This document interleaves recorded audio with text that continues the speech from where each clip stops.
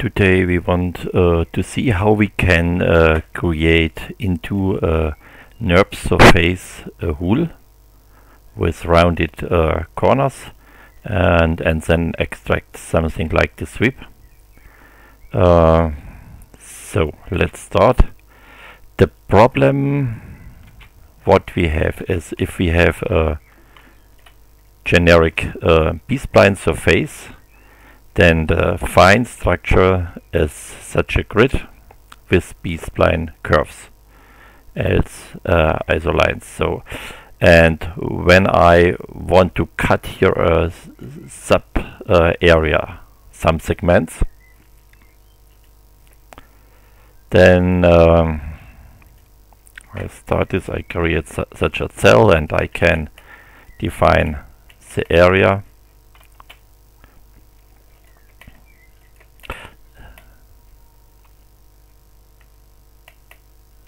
then I only can get such uh, rectangle uh, like areas. And I want something else. I want something uh, which has no hard corners here uh, but is something like this.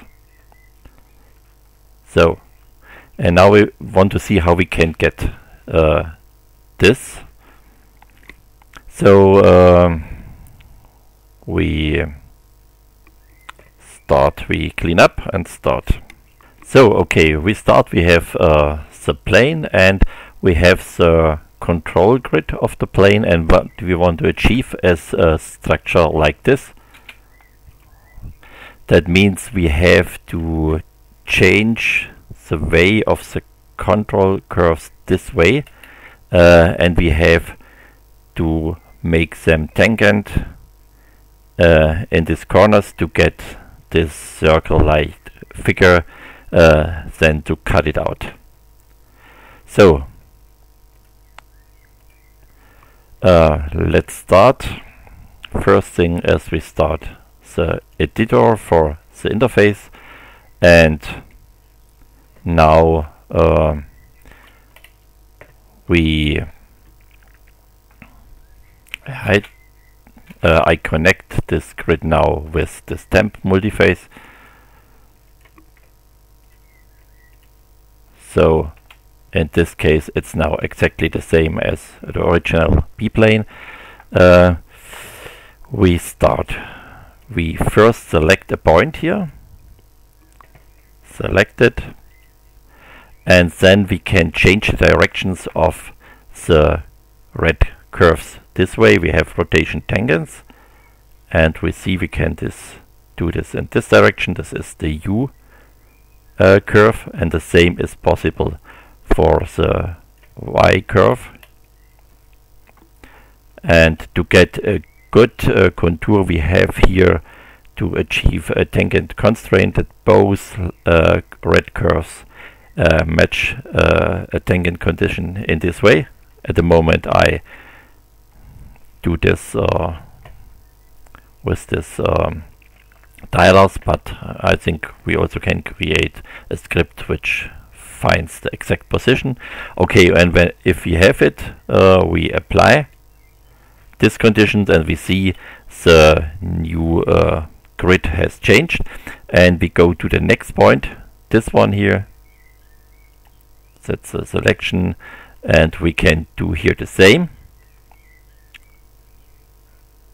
there are multiple solutions possible. So apply. So I have uh, skipped some uh, seconds of this work. We see now we have changed the directions in all of these four points and so we have transformed this uh, control cell.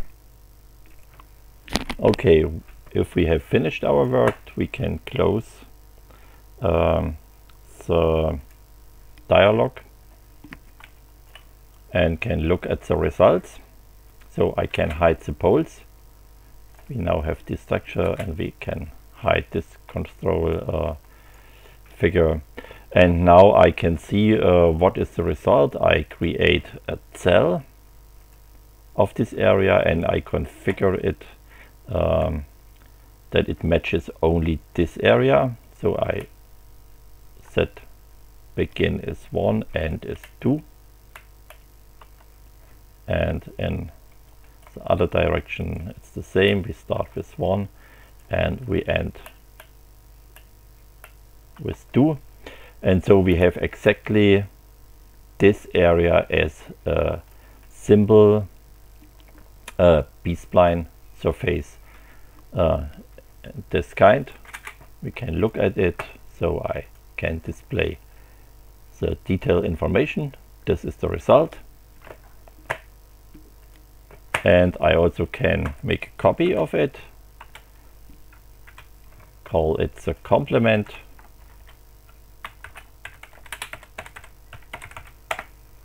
Uh, say true and so the complement is the area outside of this one and it's still not a cut of the surface with a complex uh, curve. It's really simple a union a fusion of some segments of a simple B-spline surface. And from here now we can uh, go classical work. That means I can create a sketch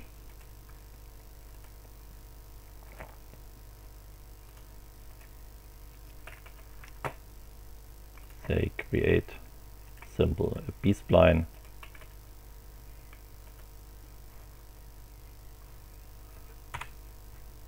okay.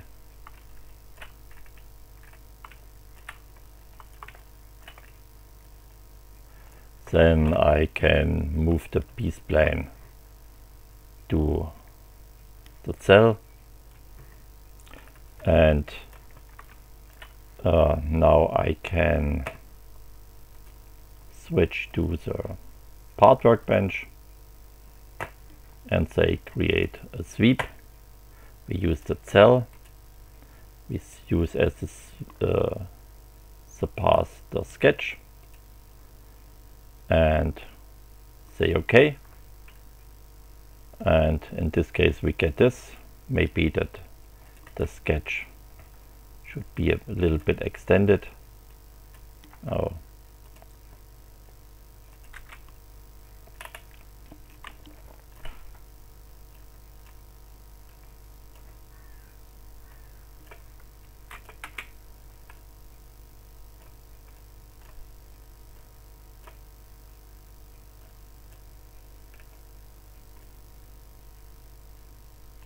So uh, this is still an example. It's always um, an adventure to, to see how uh, sweep works. I prefer to create my own B-spline surfaces.